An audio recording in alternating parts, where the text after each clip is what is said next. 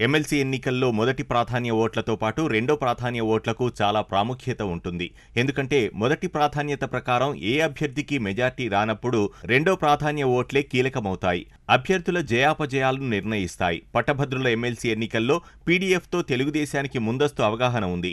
దీనివల్ల వారికి సంబంధించిన ఓటర్ల రెండో ప్రాధాన్య ఓట్లలో ఎక్కువ శాతం తెలుగుదేశం అభ్యర్థులకే వెళ్ళాయి అయితే అంతగా సత్సంబంధాలు లేని భాజపా నుంచి కూడా రెండో ప్రాధాన్య ఓట్లు చాలా వరకు తెలుగుదేశం పార్టీ పార్టీకి పడటం విశేషం. స్వతంత్రులకు మొదటి ప్రాధాన్యం వేసిన వారు రెండో ప్రాధాన్యం విషయంలో తెలుగుదేశాన్నే ఎంచుకున్నారు. ప్రాంతాలకు అతీతంగా అన్ని చోట్ల ఇదే ధోరణి కనబడటం మరో ముఖ్యమైన అంశం. అలాగని గంపగుత్తగా ద్వితీయ ప్రాధాన్యత ఓట్లన్నీ తెలుగుదేశానికి మళ్ళలేదు. పీడీఎఫ్ అభ్యర్థుల ద్వితీయ ప్రాధాన్య ఓట్లలో వైకాపా అభ్యర్థులకు కూడా గణనీయంగానే బదిలీ అయ్యాయి.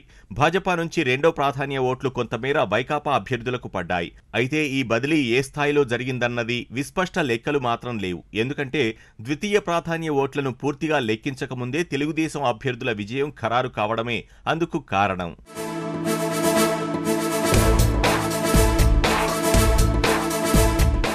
రాష్ట్రంలో ఎమ్మెల్సీ ఎన్నికలలో ప్రజలు చారిత్రాత్మక తీర్పునిచ్చారు. యావత్ రాష్ట్రంలో దాదాపు నూట ఎనిమిది నియోజకవర్గాల్లో జరిగినటువంటి ఎన్నికల్లో ఏకపక్షంగా తెలుగుదేశం పార్టీని ఆదరించడం ప్రభుత్వాన్ని వ్యతిరేకించడాన్ని చూస్తే ఈ ప్రభుత్వ పతనం ఎంత శరవేగంగా ముందుకు సాగుతోంది అనేటువంటిది అర్థమవుతుంది. మరొక విషయం ఏంటంటే రాష్ట్రంలో వైసీపీ మినహా అన్ని పక్షాలకు సంబంధించినటువంటి ఓట్లు కూడా తెలుగుదేశం పార్టీ వైపే ట్రాన్స్ఫర్ అవుతున్నాయి అనేటువంటిది ఎన్నికలను చూసిన తర్వాత అర్థమవుతుంది. నిన్నటి దాకా సింహం సింగిల్గా వస్తుంది జంగిల్లో లాగా అని చెప్పి చెప్తా వచ్చారు.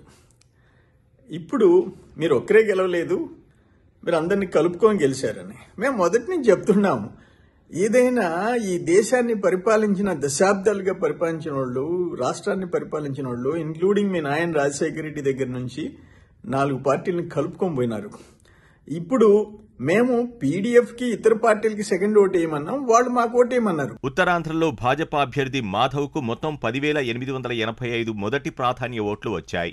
మాధవ్కు మొదటి ప్రాధాన్యం ఇచ్చిన వారిలో మూడు వేల తొమ్మిది వందల యాభై తొమ్మిది మంది రెండో ప్రాధాన్యంగా తెలుగుదేశం అభ్యర్థిని ఎంచుకోగా పద్నాలుగు వందల పద్నాలుగు మంది మాత్రమే వైకాపా వైపు మొగ్గు చూపారు. పీడీఎఫ్ అభ్యర్థి రమాప్రభకు మొత్తం ముప్పై ఐదు వేల నూట యాభై మూడు మొదటి ప్రాధాన్య ఓట్లు వచ్చాయి. ఆమెకు ఓట్లేసిన వారి ద్వితీయ ప్రాధాన్యత ఓట్లలో తెలుగుదేశం అభ్యర్థికి ఆరు వేల ఆరు వందల నలభై ఐదు వైకాపా అభ్యర్థికి రెండు వేల ఇరవై ఐదు ఓట్లు పడ్డాయి. అంటే రెండో ప్రాధాన్య ఓట్లలో వైకాపా అభ్యర్థి కంటే తెలుగుదేశం అభ్యర్థికి దాదాపు మూడు రెట్లు ఎక్కువ పడ్డాయి. అధిక శాతం ఓట్లు మళ్ళినా ఇందులో ఇంకో అంశం ఉంది. తెలుగుదేశం పీడీఎఫ్ మధ్య అవగాహన ఉన్నప్పటికీ రెండు వేల ఇరవై ఐదు ఓట్లు వైకాపాకు పడడం విస్మరించలేని అంశం. ఇక తూర్పు రాయలసీమలో భాజపా అభ్యర్థి దయాకర్ రెడ్డికి మొత్తం ఆరు వేల మూడు వందల పద్నాలుగు మొదటి ప్రాధాన్యత ఓట్లు వచ్చాయి.